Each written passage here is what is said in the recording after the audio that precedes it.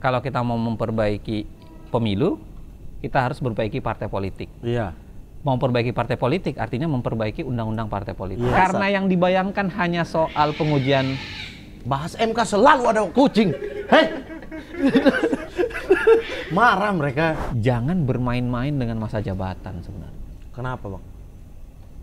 Negara-negara yang bermain-main dengan masa jabatan itu negara-negara yang kalau menunda pemilu pasti fix harus mengubah undang-undang dasar.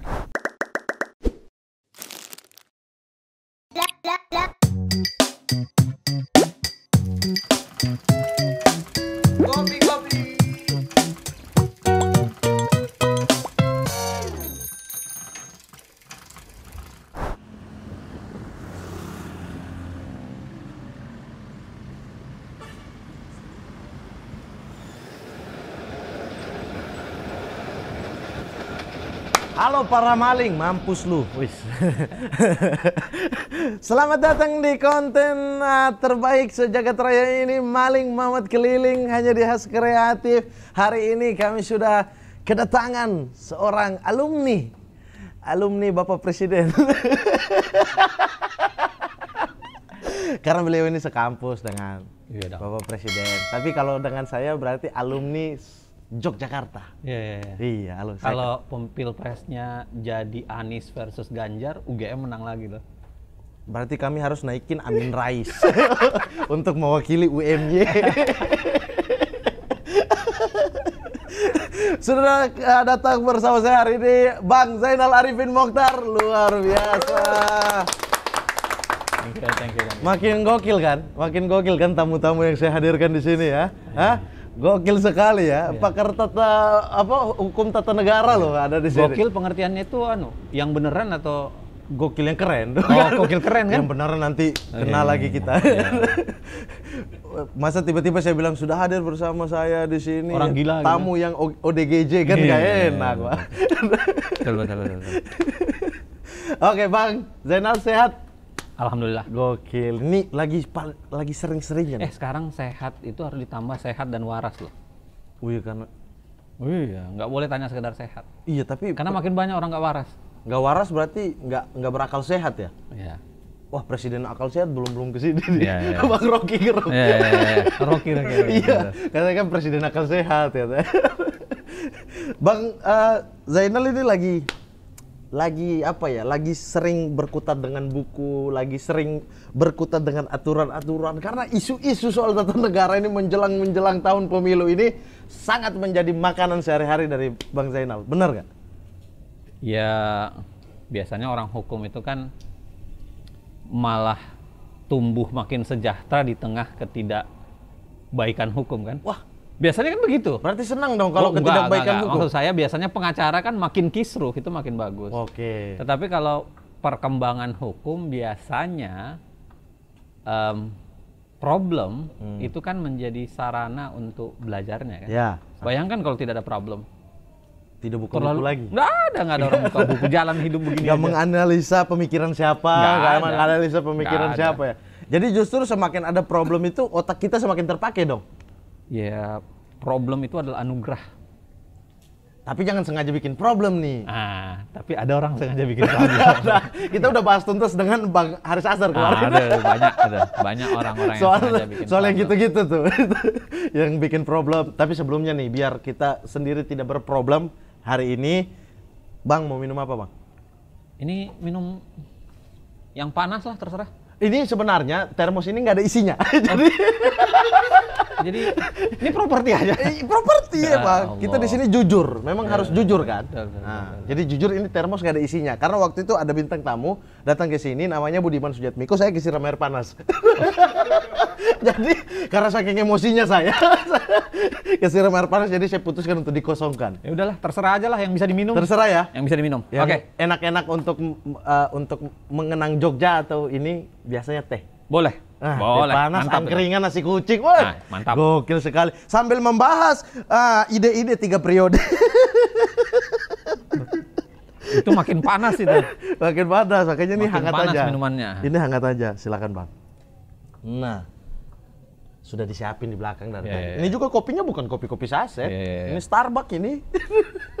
Kalau kopi saset berarti harus masuk iklan. Ih, mereka nggak mau belum belum masuk. Ini kurang perusahaan makin kurang kode sekarang. Enggak, Udah di kode-kode. Kita yang salah. Ngapain mereka masuk? Orang tiap episode udah tayang di sini, Oh, ngapain iya. mereka bayar lagi? Gratisan. Iya. kita yang salah. Terlalu nih. baik kalian ini, terlalu baik. Terlalu baik ya. Nah, Bang Zainal, kita masuk ke soal negara nih. Pusing saya pikir negara ini nih.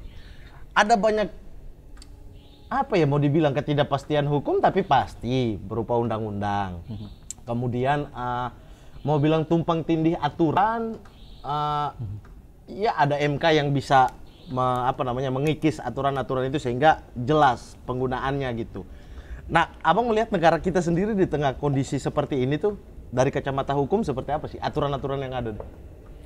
Kan begini ya, sederhananya nih orang bilang bahwa negara Indonesia adalah negara hukum. Mm-mm.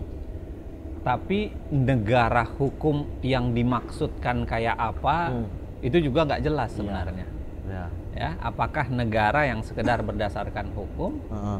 atau negara yang hukum menjadi panglima? Oke. Kalau negara yang sedar sekedar berdasarkan hukum, pencuri di negara ini, maling-maling di negara ini itu Bukan maling yang ini dong. bukan, bukan, Oke. bukan, bukan. Bagus. Maling di negara ini Ah. itu menggunakan hukum untuk membenarkan kemalingannya itu kan. Cara dia memaling itu. kan. Itu yang sering disebut menjadi eh, dalam tanda kutip eh, buku-buku teori bilang autokratik legalism. Jadi dia membenarkan cara merampoknya, cara merusaknya itu dengan membuat aturan hukumnya. Jadi sebenarnya ngerampok tapi, Tapi jadi legal Dengan legal. legal Karena karena, ada ada aturannya. aturannya. Iya. Jadi orang bilang Indonesia negara hukum, eh, saya sudah berdasarkan hukum. Beda misalnya kalau kita bilang negara hukum itu harusnya hukum adalah panglima dan tidak boleh ada orang yang merekayasa hukum untuk membenarkan tindakannya. Beda Ah, tuh ah, ah. sense-nya. Nah, yang terjadi sekarang menurut saya di Indonesia itu adalah yang yang pertama tadi. Bahwa Hukum- hukum, dipakai untuk melegalkan segala cara. Hukum dipakai untuk melegalkan apa yang diinginkan. Khususnya ya kelompok kepentingan ya. Khususnya Oligarki dong? Bisa oligarki, bisa kelompok kepentingan, bisa penguasa, bisa siapa pun. Ini secara Yang tidak kemudian- langsung abang mau, eh, mau bilang nih, kalau kita pakai analogi maling tadi, bahwa berarti maling-maling ini yang sebenarnya sedang membuat aturannya. Ya Nah. sebenarnya iya. Iya. Sebenarnya iya. Maling ini tinggal apakah dia malingnya ataukah dia dipesan oleh para maling untuk membuat. Kalian pesan saya kan untuk begini. Para maling kan nama fans Iya, iya. acara ini. Iya, iya, iya. Pecinta Malingers. acara Mamat Keliling. Ya, ya, ya. Gitu. Jadi para maling kalian yang order ya. Saya jadi. Kira-kira begitulah. Jadi jadi mereka kalau bukan misalnya ya kalau kita lihat dalam kasus Undang-Undang Cipta Kerja aja deh. Omnibus Law ya. Omnibus Law yang di- lebih keren disebut Omnibus Law. Em, kita bisa lihat undang-undang itu dibuat oleh Satgas yang sebagian besar isinya pengusaha kan. Oke. Satgasnya pengusaha, Oke. anggota DPR-nya juga kalau laporan Tempo kan 200 lebih Iya, dari anggota DPR adalah pengusaha. Jadi ya kalau sense undang-undangnya itu menguntungkan pengusaha, menekan buruh, Nah. ini kelihatan betul. Berarti secara di, diobral secara langsung dengan, dengan telanjang gitu bahwa ah, ini memang terjadi seperti ini kita mengamankan beberapa sektor kita melakukan merubah A menjadi B untuk mengamankan kita itu dengan terbuka aja gitu. Persis. Karena kan yang penting adalah tindakannya itu legal. Oke. Dia tidak peduli bahwa substansinya melang, eh, substansinya itu tidak benar, tidak baik, tidak etis. Hmm. Tapi yang penting kan bagi dia adalah legal. Ada aturannya. Oke. Makanya dia. Emang berarti parah banget dong bang kalau kalau secara, secara Banyak yang menggolongkan Indonesia memang sudah terjebak ke arah itu. Eh, a- ada nggak? Ada nggak celah untuk kita merubahnya gitu? Tidak menjadikan ah, maling-maling ini sebagai pembuat aturan misalnya. Oke terlepas dari pemilu ya. Ada nggak cara-cara? Saat ini deh misalnya mereka sedang eh, rapat dan lain-lain. Kan mereka semua yang rapat-rapat. Orderannya juga dari yang yang tidak ikut rapat tapi dari pemimpin-pemimpin mereka gitu ada nggak celah masuknya kalau menurut saya sih celah masuknya untuk mengamankan biar tidak terjadi seperti itu adalah dengan lembaga-lembaga yudikatif Iya. Iya, tapi apakah abang optimis dengan itu juga? Teorinya begini ya, sebenarnya pemilu itu nggak boleh dikesampingkan. Ini ini nyambung nanti kalau kita Oke. bicarakan misalnya pemilu tiga periode. pemilu itu menurut buku-buku teori itu adalah cara yang paling konstitusional Mm-mm. untuk melakukan makar, melakukan kudeta. Bentar, Bang. Ini ada kereta lewat. Bukan biasanya orang bilang sebentar itu kalau iklan ya. Oh iya, ini, kereta. Iya, kereta. Kereta lewat karena ini kita uh, di dekat stasiun Jatinegara, Bang. Mulai hafal nggak tujuannya itu mana ini? Kalau jam segini hafal tujuannya Pokoknya belum? yang kita tahu cuma Jatinegara aja. Berarti Iya. mereka belum belum canggih. Iya. Kalau harusnya udah hafal jam segini, oh ini tujuan Depok. Pokoknya Ah, ujungnya. Bogor deh itu. Ujungnya Bogor, ya. yang Iya. hafal cuma itu. Ini karena kita dekat uh, stasiun Jatinegara, negara yang suka merubah hukum untuk kepentingan orang-orangnya. Ya. Ente udah ente udah bisa jadi dosen hukum saya lihat Oh ini. iya, jokes negara ini sangat ditunggu oleh para balik, tapi saya bermasalah. Nanti yang kedua abang ya, negara apa gitu ya? Ya, ya, Oke ya, ya, ya. oke bagus nih, bagus. Nah, saya balik ya tadi. Oke, silakan Um, dilanjutkan. Kalau lihat sebenarnya apa? Pemilu itu Nah. adalah sarana paling konstitusional Mm-mm. untuk melakukan kudeta. Oke, Kudeta yang ya, yang benar, Yang benar. yang lurus gitu ya. makanya pemilu itu harusnya memang dipakai. Kalau misalnya Pak Jokowi dianggap tidak serius lagi ngurus negara, pemilu itu harus dipakai untuk menurunkan. Ya kan? Begitu juga partai-partai yang tadi Ya. eh, yang yang tindakannya beberapa oknum di dalamnya menjadi Ya. malingers istilahnya. kan? Malingers ya. Itu kan harus dipakai pemilu untuk mengenyahkan mereka, mengenyahkan partainya atau mengenyahkan orangnya. Nah, yang kedua memang pengawasannya bukan di level awal tapi kemudian di level produknya. Oke. Post factum istilahnya setelah ada undang-undangnya gitu. Nah, itu yang disebut dengan judicial review. Hmm. Ada Mahkamah Konstitusi, Mahkamah Agung. Nah, Iya. problemnya adalah Mahkamah Agung Masuk angin. sudah lama bukan Mahkamah Agung tapi Mahkamah Ajaib kan. Wah kan, saya masih aman nih masuk angin. Itu mahkamah Loh, ajaib. Mahkamah Ajaib itu judul tulisan eh, orang saya pakai. Oh ilmiah ya berarti. Oh, ilmiah. Ya? Aman. Jadi tidak Mahkamah masalah. Ajaib itu tulisan di Kompas itu. Oke. Mahkamah Ajaib. Oke. Tapi itu saya lihat kesannya begitu. Paling tidak belakangan kan rajin nyunat kan, Hmm. nyunat eh, Hukuman. koruptor. Iya Iya. betul. Karena dia bekerja dengan baik sebagai menteri. Oh, ada yang baik sekali menteri, ada yang sebagai ibu, ada yang bertingkah baik. banyak. Justru dia jadi menteri, korup itu juga jadi menteri. Gimana dia bekerja yang baik? sih? Pokoknya itu itu ajaib-ajaib lah. Iya. Kadang banyak kalau saya kalau kapan-kapan kalau panjang saya bisa ceritain banyak banget ajaib-ajaibnya itu. Nah, tapi Bang, tadi kan Abang bicaranya ada post factumnya. Setelah gitu, kita kita bisa eh, apa namanya judicial review dan Nah, lain tadi di sebagainya. Mahkamah Agung, Mahkamah Konstitusinya sebenarnya juga mengalami proses yang tidak terlalu menarik belakangan. Barangkali teman-teman nggak tahu ya. Bukan sekedar ambigu. Belakangan itu ada namanya gratifikasi perpanjangan usia hakim. Eh, Gimana tuh? ada undang-undang Mahkamah Konstitusi Mhm. yang baru keluar. Dulu kan hakim di MK itu hanya lima tahun dia Oke, menjadi hakim. Iya. Setelahnya boleh dipilih sekali lagi lima tahun, tapi harus melalui fit and proper test. Kembali lagi ke DPR Ke dulu. DPR lagi. Ah. Nah, di undang-undang baru, undang-undang Mahkamah Konstitusi yang paling baru Ah. itu, mereka langsung diperpanjang sampai 70 tahun. Nggak ada lagi yang namanya Sampai proses usia manusianya. ya? sampai usianya 70 tahun. Kok tidak ada yang tidak ada ribut-ribut, Bang? Dibawa ke MK, saya jadi ahlinya pengujiannya waktu itu. Ah, ah. Lah, Tapi- MK putusin kasus dia sendiri. Makanya itu belum putusan. Ya. Tapi itu jadi Orang dia dia lagi pengen sampai 70 tahun mau Jadi bisa dibayangkan. Dia jadi hakim yang panjang sekali 70 tahun atau sekurang-kurangnya 15 tahun Ah, masa masa jabatannya. masa jabatannya. Kucing nih ah tuh. Ini bahas MK, bahas MA tiba-tiba ada bunyi kan kita takut ya. Woi, kucing, tolong. Padahal MK maksud kita bukan mahkamah kucing. Iya, aduh iya iya tadi Mana? mahkamah ajaib, mahkamah kucing. Aduh. Mantap. maksud kita kan bukan mahkamah kucing, Bukan, mahkamah iya kenapa kucing yang ribut ini konstitusi loh. Anda tidak paham konstitusi kucing. Ada ada aja. Tolong kucing. ya. Kucing-kucing sekarang ada ada aja. Iya, ma ah, mau maling ya disampaikan. nah, Bang, tapi tadi kan Abang bicara uh, post factumnya setelah undang-undang itu dibikin setelah pemilu gitu. Artinya uh, kesepakatan-kesepakatan mereka yang terjadi setelah koalisi, setelah macam-macam. Nah, tapi kalau kita berbicara sebelum pemilu ini kan ada proses membuat undang-undang pemilu juga deh orang-orang yang ini gitu. Orang-orang yang saat ini gitu atau di di suatu masa orang-orang itu bikin pemilu untuk berikutnya. Artinya dia akan tetap menyisipkan pemilu ini sebagai bahan kepentingan dia dong. Artinya semua celah mereka masukin. Dong. Memang um, biasanya ya kalau dalam konsep seperti kita itu ada kondisi dianggap kita udah terjebak kayak uh, lingkaran setan gitu.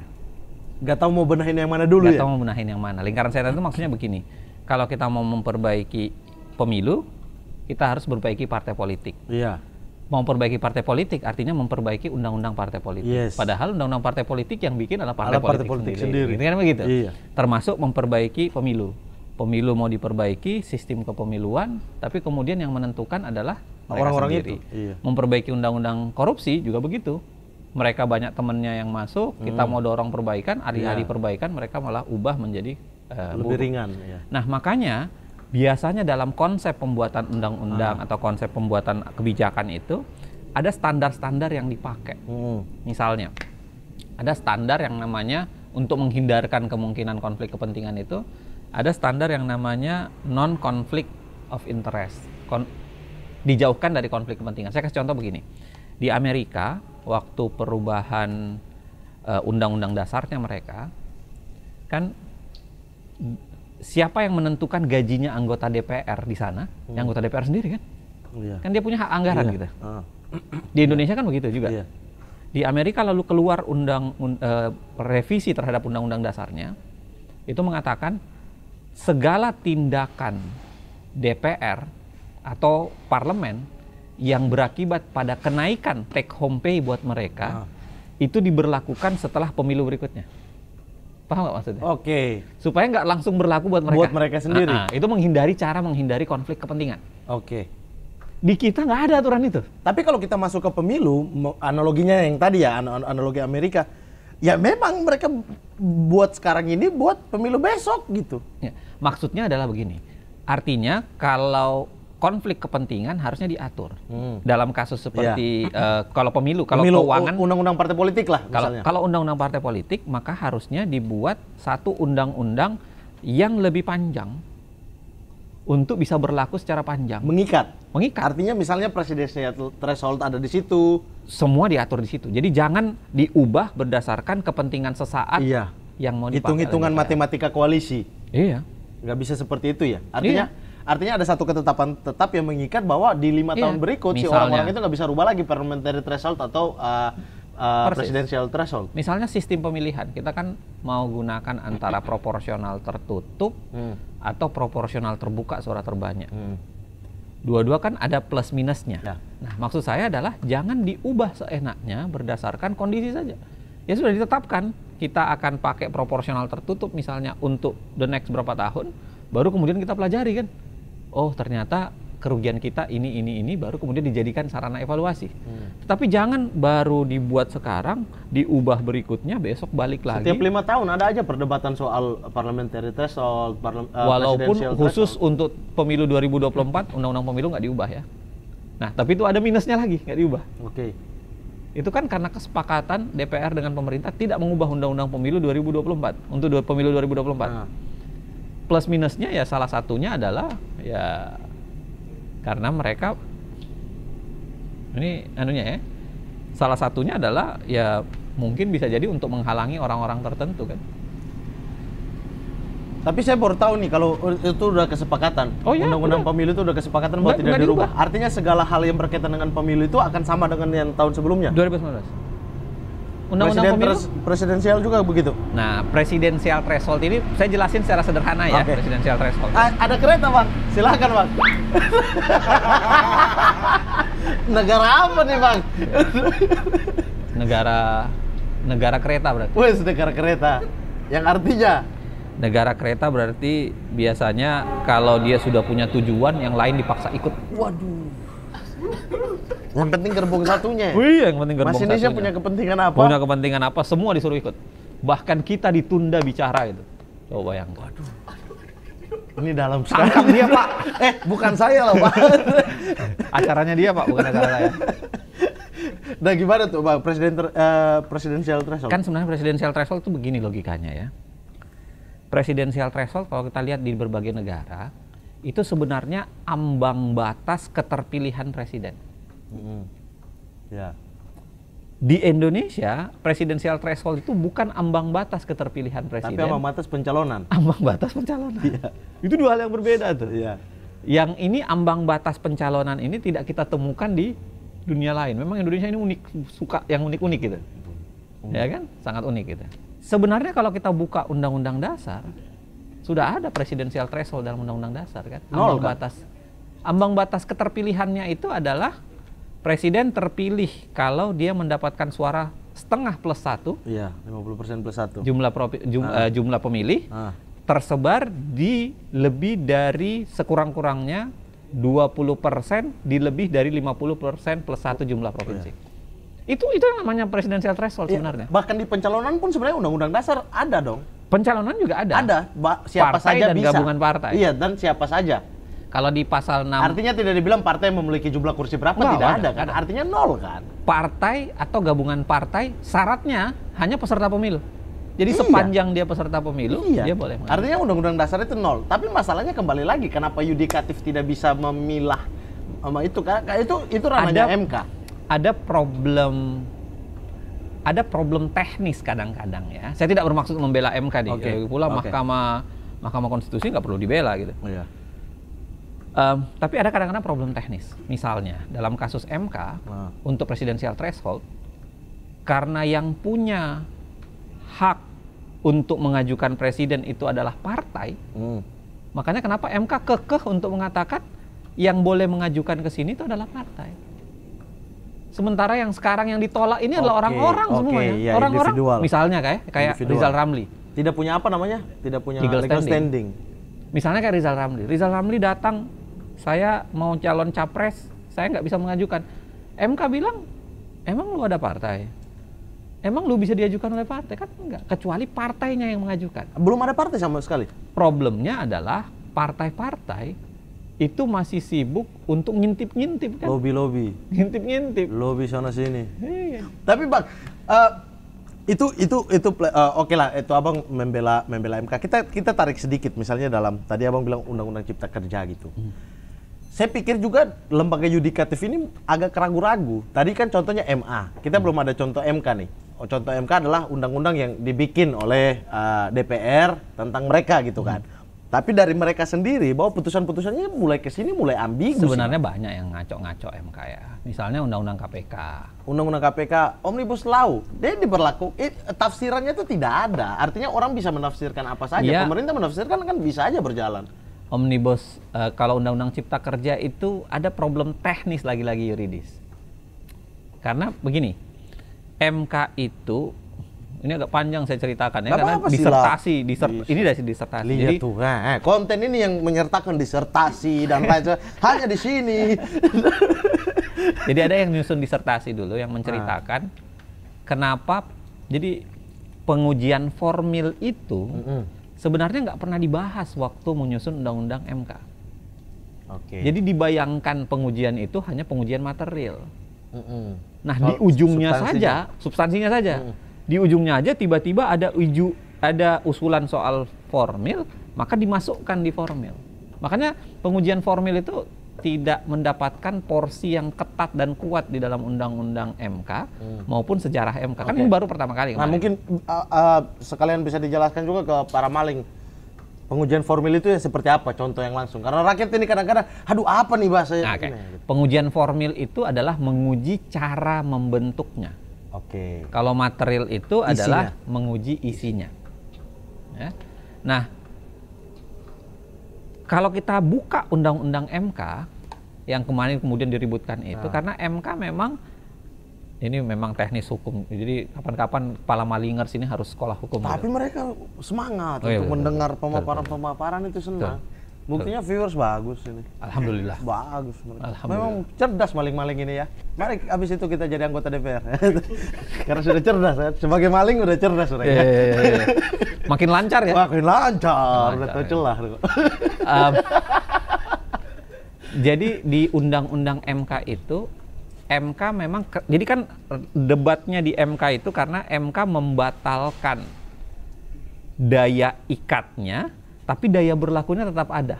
Kalau Ah, kalau di Undang-Undang oke. Cipta Iya, Kerja itu iya, kan begitu, iya, karena iya. MK mengatakan undang-undang ini tidak memiliki daya ikat, tapi undang-undang ini dinyatakan masih berlaku. Tetap berlaku ya. Nah, itu karena problem di dalam undang-undang MK sendiri, MK tidak dikasih kewenangan untuk menghilangkan daya berlaku memang. Tidak bisa berarti. Nggak ada. Artinya mencabut satu ketetapan kan bisa. Yang MK yang bertentangan dengan undang-undang dasar. Karena yang dibayangkan hanya soal pengujian bahas MK selalu ada kucing. Hei. Marah mereka kalau bahas MK nih. jangan-jangan ada intel yang menyamar di kucing. Hei. Tenang, hatinya udah di sini. Karena kalau penjual cilok udah terlalu terlalu ini terlalu umum. Iya. Penjual bakso, sate, Kopi keliling belum ada. keliling. Jangan-jangan kucing sekarang Hati. ya, modusnya. Nih ada yang menolak MK di sini. Gimana Pak? Lanjut. Silakan lanjut. Nah, Pak. karena itu tadi saya bilang, sejarahnya hanya pengujian material, Hmm. makanya kenapa yang dihilangkan hanya daya ikat saja, bukan daya berlaku. Kalau pengujian formil itu memang seluruh undang-undangnya rubuh dan daya berlakunya dihilangin. Oke, tetapi misalnya daya ikatnya rubuh. Misalnya kita ambil sa- eh, sa- satu aturan lah. Kemudian daya ikatnya tidak ada. Loh, toh otomatis tidak bisa digunakan dong. Memang dan putusan MK sudah menyatakan itu. Lah berarti kenapa tetap diberlakukan? Karena MK tidak punya kewenangan untuk daya ikat. Tapi Daya berlaku. artinya artinya berarti inkonstitusional, eh, inkonstitusional juga kalau se- seandainya tetap menjalankan sambil Oh memperbaiki. jelas, jelas. Tetap tetap in- inkonstitusional itu. Tetap tidak mengatakan bisa, begini, kan? Daya ikat itu sebenarnya berkorelasi dengan daya berlaku. Berkorelasi. Karena teorinya mengatakan salah Karena satu tidak daya bisa, iya. ikat daya ikat itu teorinya mengatakan daya ikat secara yuridis. Dan itu sebenarnya daya laku. Sama Iya. aja. Jadi harusnya semenjak putusan MK, undang-undang itu udah nggak bisa dijalani. Iya. Artinya MK misalnya kayak uh, Tapi yang luar biasa, pemerintah itu main sembunyi-sembunyi. tetap menjalankan itu kan? Tetap. Nggak, nggak sembunyi-sembunyi sih terang-terangan kok. Karena memang statementnya bahwa ini tetap berlaku sambil diperbaiki. ada perpres yang keluar, perpres 113 kalau tidak salah, Ah. soal bank tanah itu produk dari undang-undang eh, Cipta Kerja itu dikeluarkan secara sembunyi-sembunyi. Sertifikat-sertifikat itu ya? Bank tanah, iya. Iya. Dikeluarkan sembunyi-sembunyi. Jadi kita tunggu kereta dulu. Oh bang, sorry bang, ini ada kereta lewat. Iya, iya. Karena ini kita dekat stasiun Jatinegara. Negara yang sembunyi-sembunyi. Negara yang Negara sembunyi. apa itu? Burkina Faso, Bang. Burkina Faso. Iya. Wih, nanti duta besar Burkina Faso marah ke ente. Ente disomasi. Gak apa-apa, mereka nggak nonton ini, yang nonton negara Indonesia jadi jangan kita, kita mereka nggak nonton. Kalaupun nonton nggak ngerti bahasa kita, Iya, iya, iya. jadi apa? Nah itu eh, mau diuji gimana lagi seandainya tetap tetap eh, putusan yang ambigu yang dalam dalam kasus Perpres 113 itu itu sembunyi-sembunyi loh. Karena mereka eh, membuat PP-nya itu tidak dibuka PP ini turunan daripada Ciptaker ya? Perpres 113. Jadi tidak dibuka ke publik. Nah. Draftnya sudah diumumkan pemerintah bahwa Perpres ini sudah ada, tapi Nah. draftnya itu tidak kunjung dilepas ke publik. Jadi kayak sembunyi-sembunyi banget. Kita cari Nah. ke mana-mana nggak nemu. Oh, Itu mah biasa bang. RUU Iya. KPK sini bilang usulannya sana, sana bilang usulan sini. Eh ketuk palu bareng, salaman. Ya memang eh belum ada yang daftarkan undang-undang KPK ke MURI itu. Museum rekor. Kan Kenapa? cepet banget pembahasannya. Oh iya, Harusnya ada yang daftar. Uh, undang-undang yang disahkan tercepat ya, RUU tercepat ya Cepet yang banget. disahkan. Iya. Berapa hari? Iya. Cuma sayangnya MURI Indonesia tidak mau untuk hal yang buruk kan. Ente bikin aja sendiri. Rekor ya? Museum rekor. Iya gitu. Di sini aja tulis aja di sini. Museum rekor. Mus ini ini Ruko Rekor. Museum rekor. Ruko Rekor uh, undang-undang tercepat, undang-undang KKK ya. Itu nggak- KPK kita. KKK. Bang, tapi kalau setelah itu, nah misalnya kayak Bang Tanah tadi, Perpres ini kan sudah sangat inkonstitu- inkonstitusional ya. Bang, eh, kalau tadi dari perbincangan kita tadi bahwa daya ikatnya nggak ada, nggak bisa dijalankan juga gitu. Nah kita mau ke mana lagi nih untuk menguji itu bahwa ini tidak bisa dilakukan, Perpres ini nggak nggak boleh berlaku gitu. Ya memang Di ini dalam, di dalam kelemahan. tatanan hukum ada nggak maksudnya setelah ini bahwa kita melarang mereka untuk menerbitkan pre- perpres atau kita menafsirkan undang-undang eh, putusan yang ada gitu-gitu. bagi yang belajar hukum tata negara memang ini salah satu kelemahan kita ketika membagi dua antara Mahkamah Konstitusi dengan Mahkamah Agung. Oke. Panjang nih sejarahnya ya, Ah. karena kan dulu awalnya idenya itu sebenarnya yang menjalankan peran Mahkamah Konstitusi itu Mahkamah, Agung, aja, Iya.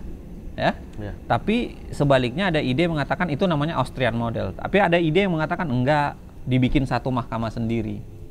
Akhirnya ada Mahkamah Konstitusi, ada Mahkamah Agung. Nah, gara-gara terpecah dua ini, itu menimbulkan komplikasi banyak sekali sebenarnya. Misalnya, Misalnya, dalam kasus KP, eh, dalam kasus MK sudah membatalkan satu undang-undang, pada faktanya PP-nya dan Perpresnya masih hidup. ada, ya.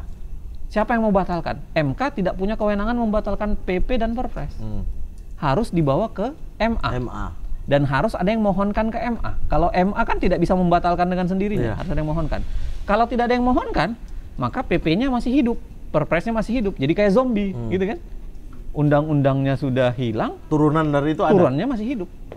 Nah, persis dalam undang-undang ini sebenarnya Artinya berarti kita bisa dong ajukan lagi Perpres dan PP itu kepada ke MA. Mahkamah Agung lagi. Lalu ketika MA putus misalnya, oh itu sah berlaku, Ah, Nah. jadi konflik lagi kan? Konflik lagi karena M, Karena M- MK mengatakan tidak bisa, gitu. Iya. Secara undang-undangnya. Tapi karena kita membelah dua menjadi dua kewenangan yang berbeda, sangat mungkin MA bilang tetap tetap, jalan. konstitusional. Sangat mungkin. Berarti- karena dia mengatakan ya, kan M, MK bilang itu, tapi pertimbangannya MK. Oh. Pertimbangan saya pertimbangan saya sendiri. Karena kita dua dua wilayah yang terpisah kan. Solusinya apa bang? Gitu gitu. Apa Saya amandemen apa amandemen undang-undang tidak ada Saya mahkamah sih- lagi? ah, Tidak ada mahkamah konstitusi cuma satu lagi misalnya MAK gitu, Mahkamah Agung Konstitusi gitu atau MKA gitu. Jadi digabung nih jadi satu. Gimana tuh solusinya? Saya sih termasuk yang bilang harusnya kewenangannya disatukan. Jadi membagi antara peradilan em, justice itu di Mahkamah Agung, pidana perdata, tapi khusus untuk peradilan konstitusi, peradilan ketatanegaraan kayak eh, menyidangkan judicial review itu disatukan di Mahkamah Konstitusi. Artinya jika sekarang kita mau tuntut lagi soal PP dan per, Perpres, Harusnya kita bisa ke diselesaikan. MK. Jadi bayangan saya ya, MK ketika memutus itu dia sekali pukul undang-undangnya, dia pukul juga semua PP, Turunannya. Perpres saya batalkan secara keseluruhan. Nah, harusnya begitu. Artinya jika PP masih bisa berjalan, kita masih bisa mengeluh lagi ke MK. Iya.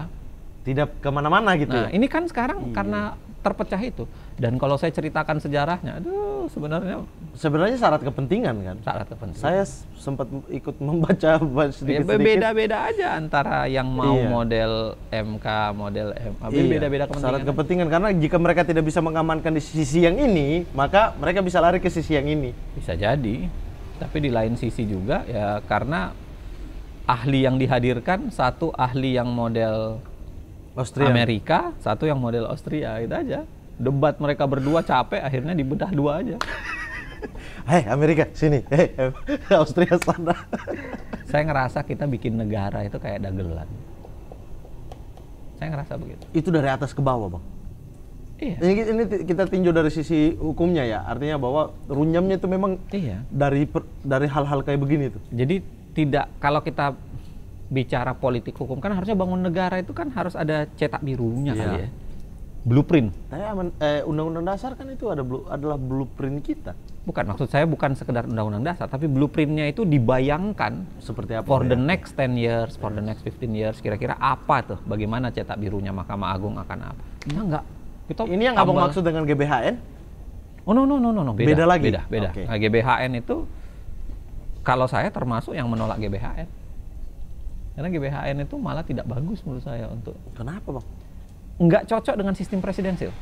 Itu hanya diberlakukan di negara-negara yang parlementer. Lebih banyak di parlementer. Nggak cocok dengan presidensil. Jadi saya mengatakan bukan reluctant sama GBHN ya, tapi tidak cocok ketidakcocokannya Ah. sama sistem presidensil. Saya kasih contoh sederhana begini. Kalau presiden tidak menjalankan GBHN, Hmm. kira-kira presiden bisa dijatuhkan oleh MPR nggak? Kalau once kita bisa mengatakan dijatuhkan, berarti kita masuk ke sistem parlementer. Ya? Oke. oke. Karena presiden dalam sistem presidensil itu hanya bisa dijatuhkan bukan karena kebijakan, Tapi kok kejahatan luar biasa. kejahatan yang ada di pasal 7 itu Iya. kan.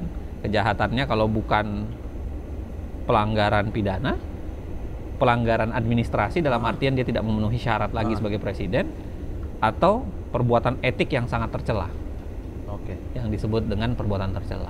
Itu. Jadi kalau nah atau misalnya begini, siapa yang menilai presiden bisa me- memenuhi GBHN atau tidak? Hmm. Kalau kita bilang parlemen, nah kita balik lagi ke sistem parlementer. Karena parlemen menilai presiden, menilai kinerja presiden. Tapi kan kita memang dari semua semuanya dari segala macam ah, itu memang selalu ada di dua-duanya. Selalu ada setengah-setengah gitu kita ambil. Orang ada sistem presidensial tapi ada koalisi, ada oposisi. Iya betul. betul. ya itu kan setengah-setengah juga gitu di dalam ah, di dalam sistem tata negara kita. Nah, itu yang saya bilang tadi, dugaan saya dibikin secara bukan blueprintnya yang lengkap, Hmm. tapi karena kepentingan-kepentingan aja. Misalnya MPR aja. Hmm, Oke. MPR aja kan awalnya harusnya udah tidak ada kan dalam sistem kita. Karena udah ada dua lembaga Iya, sudah ada DPR, ada DPD. DPD. Kalau misalnya pakai kita contoh Amerika, ada House, ada Senat, Kongres itu adalah tempat bertemu, tempat ketemu aja. Ya Kongres itu MPR Kongres. dong. Nah, harusnya MPR itulah Kongres. Tapi di kita dikasihin lagi lembaga kan, Lembaga iya. dikasihin lagi ketua, dikasihin RI. Kalau MPR RI berapa tuh? Iya. RI 5 ya? Eh RI 6. Bukan tiga ya? Kalau tiga kan istri kan satu presiden, Dua satu dua wakil wakil presiden, tiga itu istri presiden kalau. Iya. Belum Nah. lagi apa dikasih ini jatah. Aduh.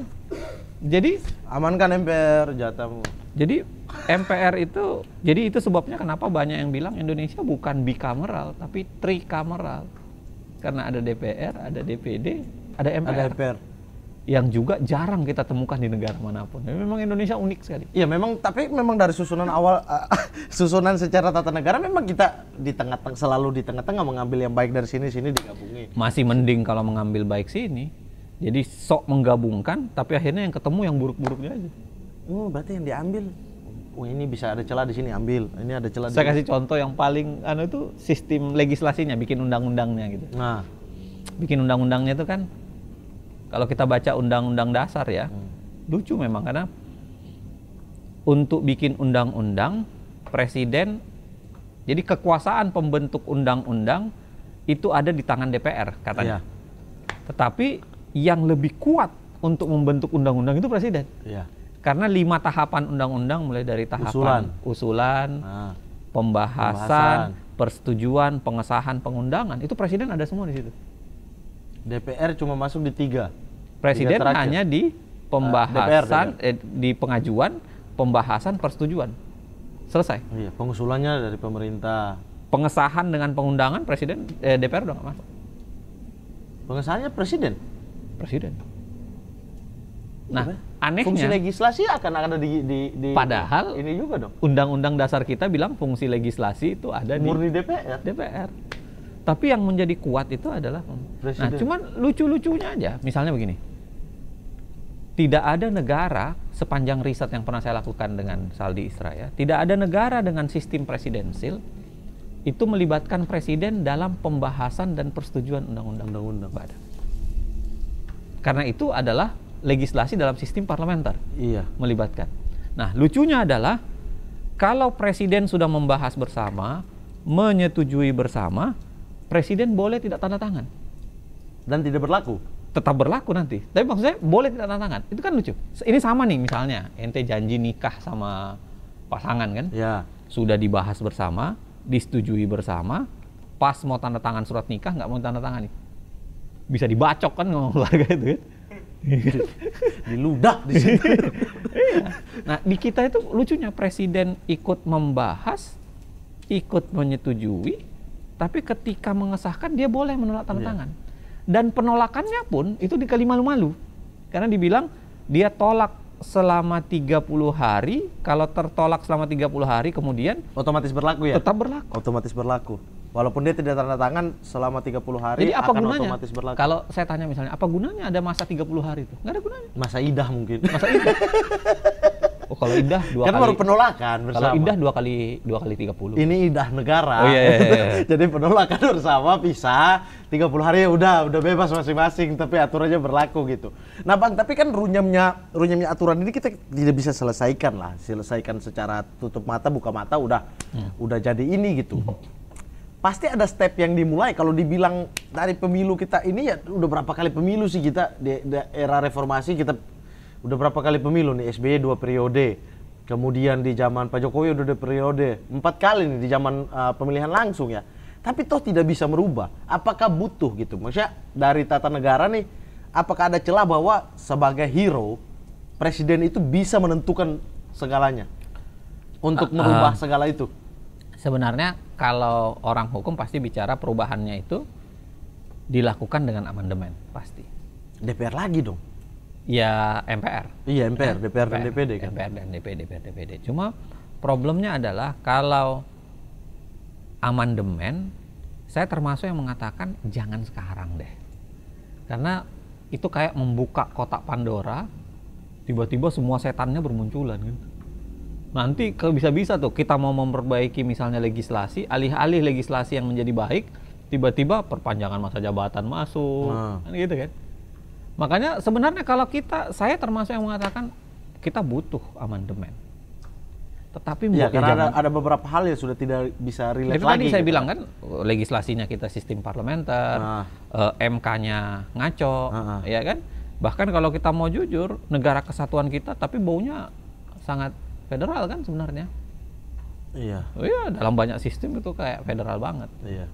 Nah, ini harusnya diperbaiki. Tapi saya termasuk yang bilang jangan sekarang deh.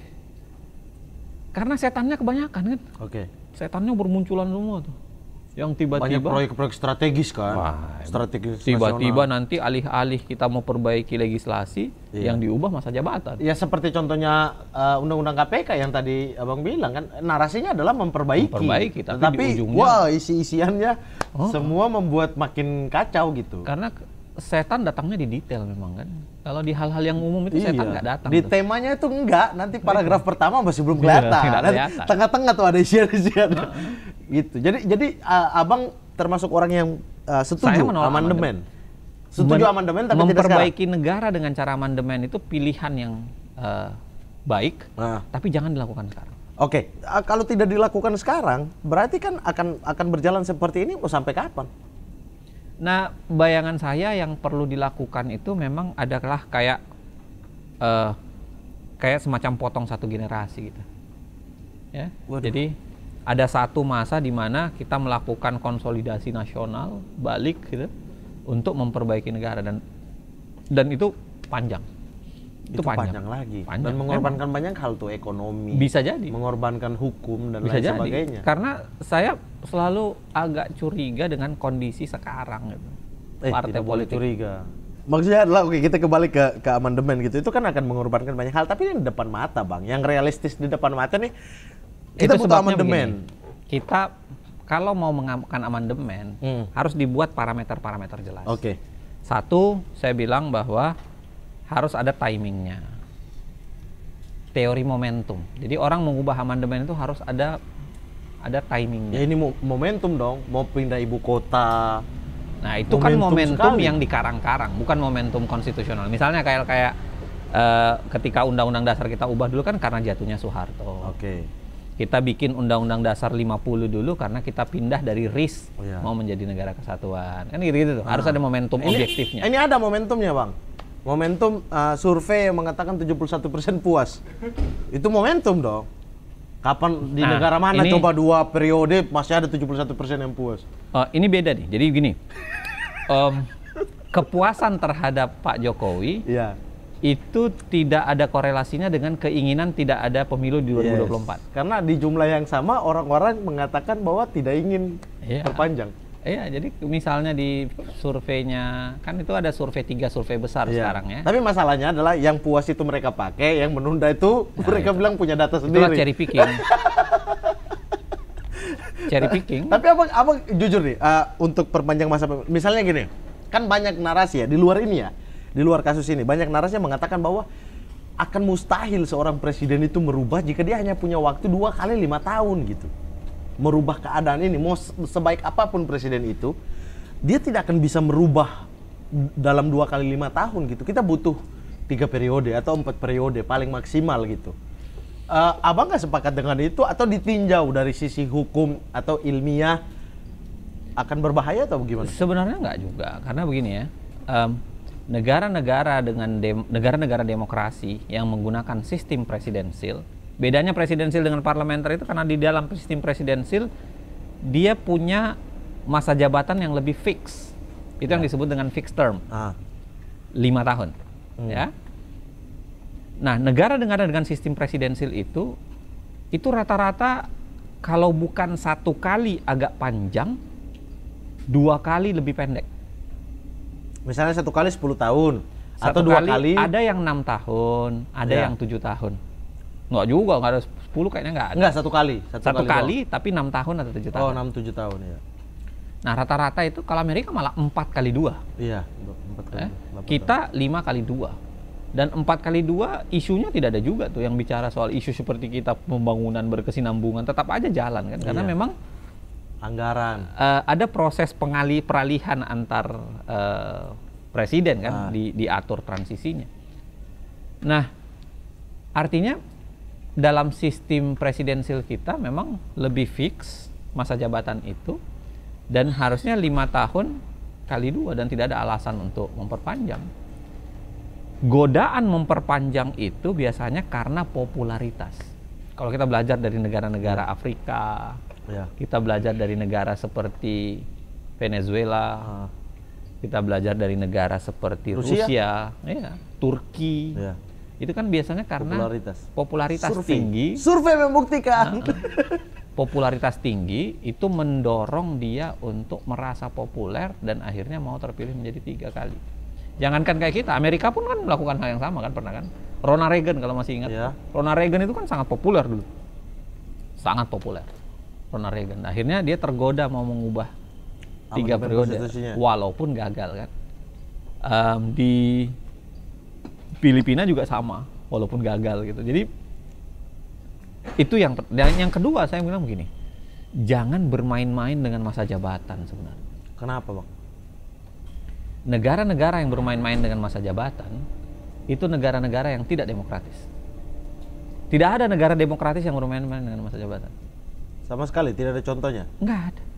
Oke. Kita mau pilih siapa? Masa mau disamakan dengan Guinea, Oke. negara-negara di Afrika, Oke. mau disamakan dengan Oke. kan jauh sekali kan. Bahkan dalam kasus Guinea misalnya bermain-main dengan masa jabatan, di ujungnya dia di kudeta sama militer kan. Iya. Pemimpinan sipil bermain-main dengan masa jabatan, dia perpanjang dirinya, habis itu militer masuk ambil alih. Oke. Jadi jangan main-main karena Oke, itu bahayanya besar sekali. Iya, da- da- dan saya selalu bilang gini, kita tuh belum terlalu jauh dari masa 98. Artinya orang-orang yang dulu berjuang untuk tidak presiden itu tidak lama, itu masih ada sekarang gitu. Dan masih eh, masih ada yang aktivis, ada yang sudah memang anggota DPR, ada yang masuk partai tertentu. Tapi yang saya saya yakini misalnya kayak kayak misalnya eh, aktivis dulu di partai-partai penguasa saat ini juga berteriak untuk tidak tidak boleh tidak boleh perpanjang dan lain sebagainya. Itu itu itu sisi positifnya ya bahwa kita tidak belum terlalu jauh. Akhirnya kalau mau mengulang sejarah lagi itu masih banyak yang ingat bagaimana Soeharto membuka keran memperpanjang dan lain sebagainya gitu. Em, memang pertanyaan yang menarik itu adalah apakah Indonesia sudah menyelesaikan masa transisinya? Kan dulu kan ya dari jatuhnya Soeharto itu dianggap sebagai penanda Indonesia mengalami transisi dari otoritarian menuju ke arah demokrasi. ya. Ya kan? Pakai teorinya Juan Lins, pakai teorinya banyak itu. Tetapi kita tunggu kereta lewat. oke ini ada kereta lewat Eh, karena kita ini syuting dekat stasiun Satu doa saya, mudah-mudahan kereta ini tidak menuju ke tiga periode. Ma- maaf ada kereta lewat karena ini kita syuting dekat stasiun Jatinegara negara yang karena populer lalu pengen memperpanjang Mudah-mudahan tidak ke sana. dalam sekali Dua minumnya. lagi keretanya ini mak- makin amin nih bang. Berarti satu tiga periode, satu Penundaan pemilu. Nah oke, Eh, silakan eh, dilanjutkan bang masa transisi. transisi. Jadi kan mengatakan transisi dari demokrasi menuju ke eh, dari otoritarian menuju demokrasi. Kita belum Nah. selesai ya. Juan Lin sendiri, saya nggak tahu ya, apakah Indonesia selesai nanti kita buktikan. Tapi Juan Lin sendiri kan bilang begini, jalan menuju konsolidasi demokrasi itu jalan yang berangin. Kadang-kadang kita bingung di dalamnya. Jadi kita berjalan terus ke depan. Sebenarnya kita tidak berjalan ke depan. Kita mengalami apa yang disebut dengan putaran U, U-turn. Jadi kita berjalan ke depan, tapi sebenarnya kita balik ke posisi selu- se- serupa Betul. iya. muter aja.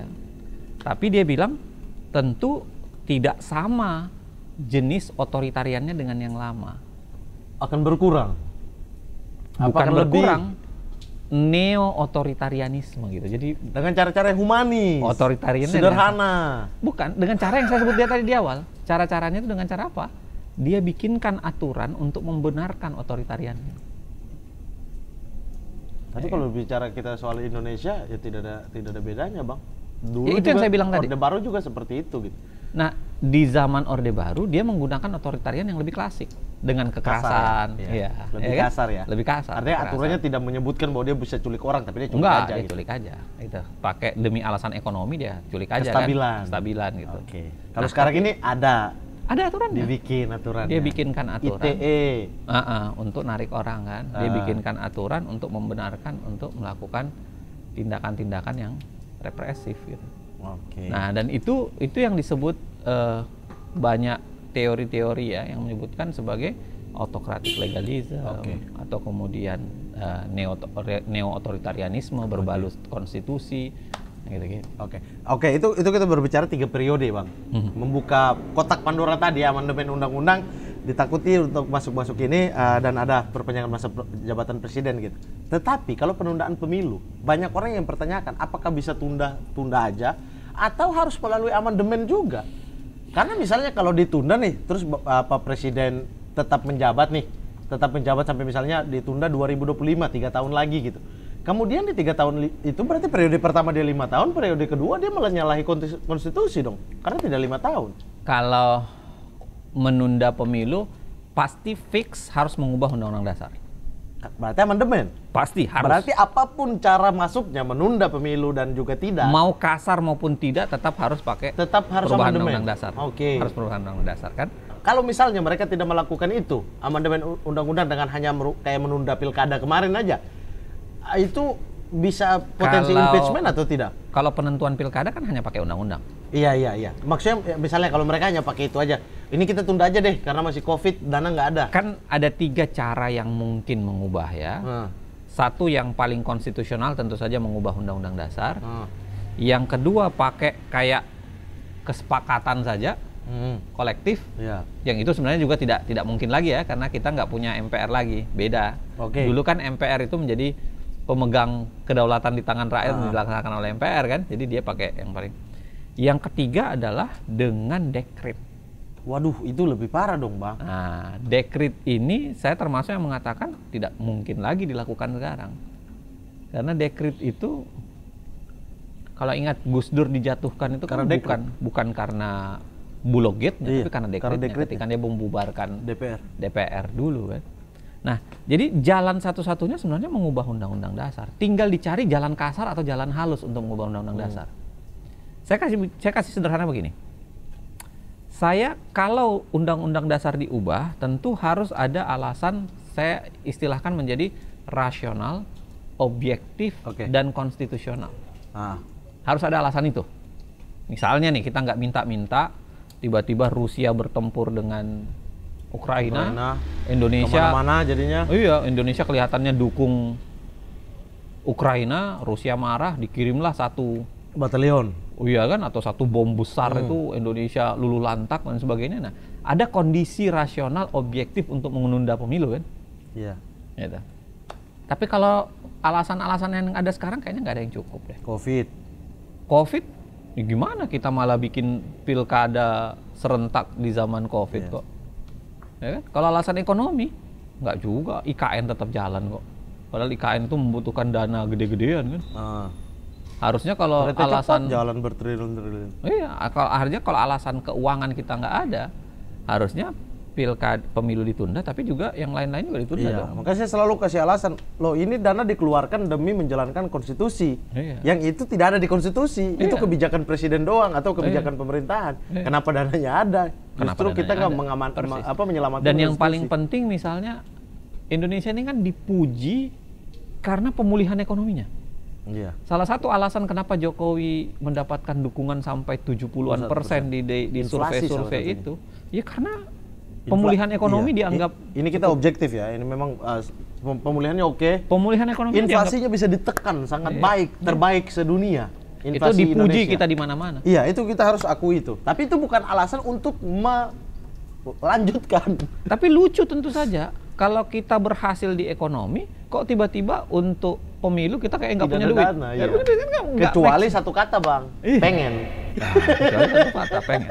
Bukan karena Tolong ada dicatat duit. itu ya, jadi kalau masalah ya dia aja iya yang- lah kalau nggak pengen nggak mungkin dong. Nah. Ada isu-isu dari partai-partai, partai-partai koalisi juga tinggal stop isu. Nah, tapi ada satu ada satu kondisi yang saya udah sering sampaikan yang sangat mungkin diciptakan untuk membuat seakan-akan ada alasan rasional objektif. Ah, Misalnya nih, tiba-tiba KPU-nya yang menyerah.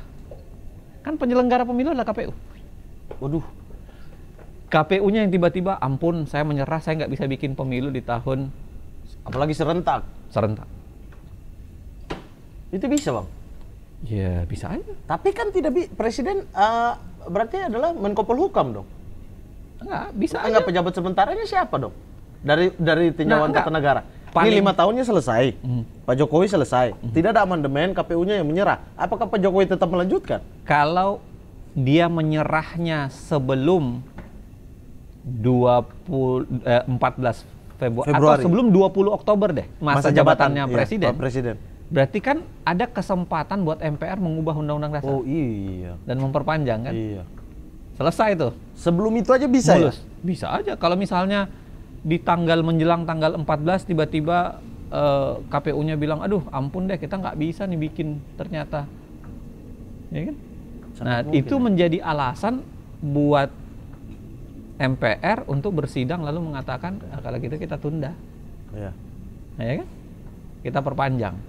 Nah, yang paling bahaya memang kalau dia tidak mampu melaksanakan, MPR juga tidak bisa untuk bertemu sehingga tanggal 20 Oktober Kekosongan jabatan. kekosongan masa jabatan. Militer dong. Itu yang tidak kita minta. Karena bahaya kan.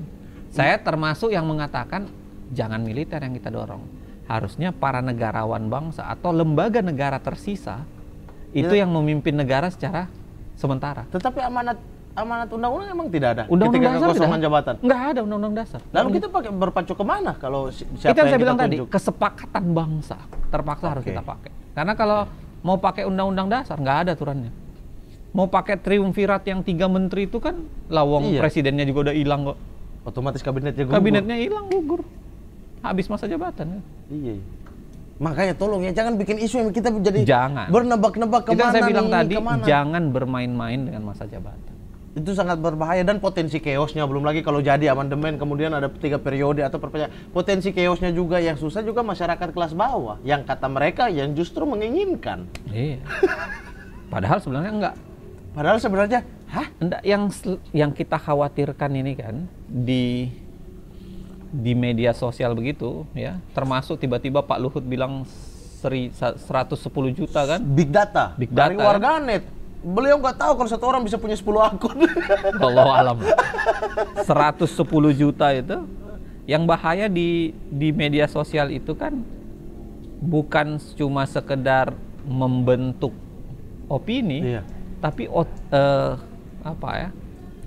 manufacturing jadi dimanufaktur di- Iya, dibuat tuh. sehingga itu opini itu terbentuk dengan Terbentuk sendirinya dengan sendirinya. bahwa memang masyarakat yang menginginkan. Jadi- sehingga aman negara. Iya. itu yang bahaya kalau di- Iya. di- dibu- dibikin-bikin aja dan untuk membikin itu kan relatif mudah ya. Sangat mudah isu-isu main isu dan lain Seperti sebagainya. kasus KPK saja tiba-tiba hampir seluruh orang percaya bahwa, di Bahwa- KPK ada Taliban. Betul. Padahal tuduhan-tuduhan yang tidak masuk akal gitu. Takutnya ini menjadi uh, masalah lagi isu bahwa memang masyarakat yang menginginkan itu. Itu yang kalau ditinjau dari sisi tata negara akan sangat sangat banyak saya makanya saya bilang banyak ininya. jangan bermain-main dengan masa jabatan. Yes, bahaya berbahaya, sekali. Karena berbahaya. skenario-nya buruk. Seperti Guinea itu diambil alih militer gitu. Jadi skenario-nya buruk. Nggak bagus skenario-nya. Ini mulai ada asap-asap nih ngomongin tiga periode nih. Ini ada yang bakar-bakar. Hah? Ada yang bakar-bakar. Tahu tiba-tiba muncul loh ini. Itu, Bang, karena udah mulai ada asap-asap, kita cukupkan saja ya. Terima kasih banyak Bang Zena. Tapi, tapi kok bisa tiba-tiba ada asap ada yang bakar ya? Dari mana? Kan nggak ada orang dari tadi di situ, kenapa tiba-tiba ada yang terbakar? Jangan-jangan itu kucing yang bakar di sana. Itu ada dia tuh. Nah, itu. Bang Zainal terima kasih banyak Oke, atas Bos. waktunya. Kabar-kabar kita ngobrol lagi. Tapi sebelum penutupnya, nah ini ada kereta lewat nih. Bodoh amat, udah makin bahaya nih, makin eskalasinya makin ini. Nah tapi eh, sebelum menutupnya statement nih, statement. Ini statement dari saya Pak Jokowi, sudahlah eh, para kabinet sudahlah gitu. Iya. Kita akui keberhasilan-keberhasilan Anda di berbagai Iya. sektor oke juga gitu, apa pemulihan ekonomi oke, masyarakat UMKM maju dan Kasih sebagainya. kesempatan ke berikutnya. Kasih kesempatan di berikutnya dan jangan itu dijadikan sebagai sebuah pegangan untuk melanjutkan lagi karena itu akan menjadi pintu masuk kepada ah, otoriter. Bisa jadi. akan menjadi pintu masuk ya. Tiga periode bisa empat periode bisa lima periode itu Iya. adalah pintu masuk. Dan sudahlah kita demokratis saja dua kali udah nggak usah amandemen diperlukan. Tetapi Jangan bukan di saat yang sekarang dan jangan disusupi dengan keinginan yang macam-macam. Betul. terima kasih Bang Zainal Arifin Mokhtar. Luar biasa Siap, memang pakar hukum tata negara siapa itu Refli Harun siapa Enggak, Bang Zainal bro. Oh. Saya mengadu domba ya. Bang Refli, mana? Aman, aman, aman. Apa? Haris Azhar. Wah, saya mau WA emang. Parah Anda, Anda. Nggak bagus Anda. Fokus aja sama hukum.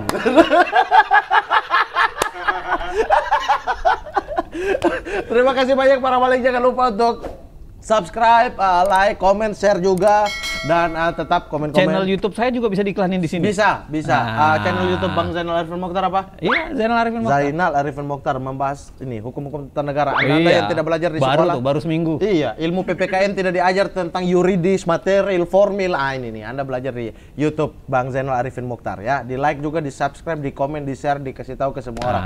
Biar semuanya tidak asal iya sama ini. Sama siapa? itu bang. Udah oke okay, dadah.